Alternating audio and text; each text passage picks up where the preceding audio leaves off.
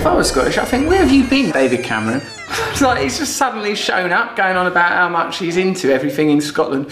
Your mortgage, your mortgage is going to turn into seaweed. Barack Obama, he's doing the old fun thing. I'm powerful, but not rude and powerful. I'm just nice powerful, like when you elected me.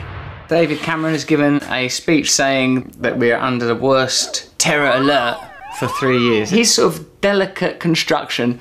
Islam's great. I love Islam. I did a bit of Islam this morning. Then there's wicked Islam.